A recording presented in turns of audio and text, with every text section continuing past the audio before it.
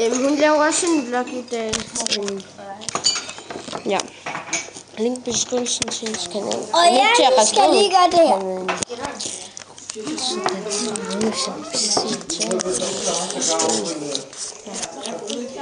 Så jeg kan jeg bare sidde og filme. Så.